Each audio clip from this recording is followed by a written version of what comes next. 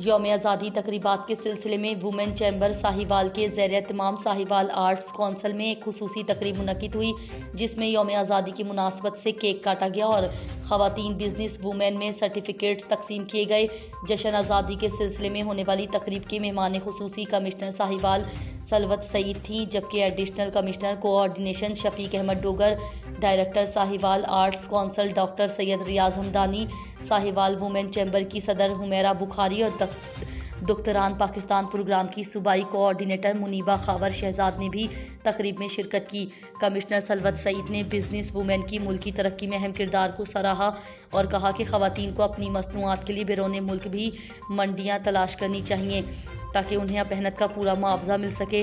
उन्होंने कहा कि कोई मुल्क खातन को अमली शोबों से दूर रखकर तरक्की नहीं कर सकता और साहिवाल में वुमेन चैम्बर का क्याम खातन को तरक्की के मौके फराम करने की तरफ़ एक अहम कदम है। उन्होंने खातन पर ज़ोर दिया कि वह अपनी मसनूआत में वेवलो एडिशन करें और मार्केटिंग पर भी तवज्जो पूरी दें ताकि वो मुल्क की तरक्की में ज़्यादा अहम किरदार अदा कर सकें।